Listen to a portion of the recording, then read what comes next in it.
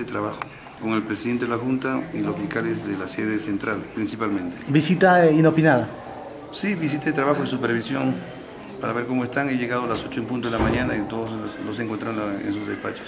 Total, eh, trabajando todos como debería. Sí, he visto que la carga que tienen es una carga manejable, no es eh, excesiva.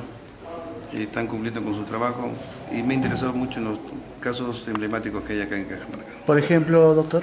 El caso del Banco de la Nación, que es un caso que ha trascendido a otras ciudades y preocupa mucho a la colectividad. ¿no?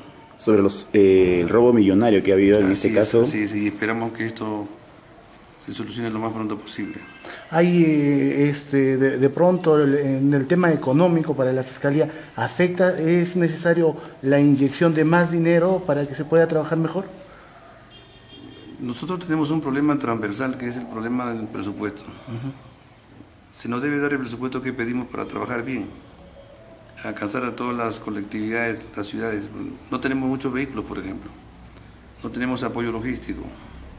Hay que transportarse para Achota, a, a Celendín, a Cajabamba.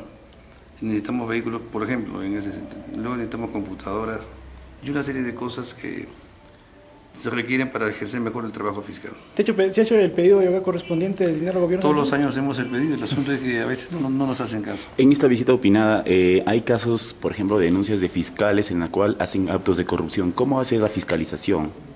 Estoy pidiendo un informe a la Fiscalía de Control Interno, por lo que me ha dicho son pocos los casos que hay.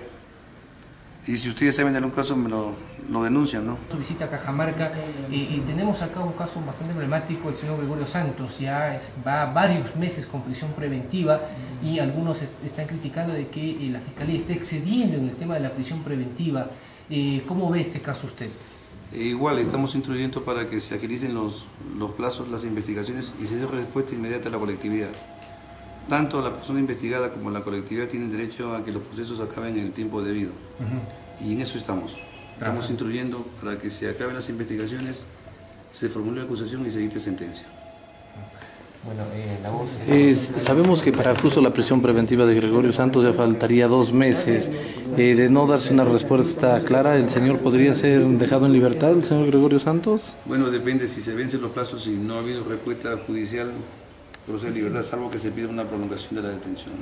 Que sí se puede pedir entonces. Procesalmente sí.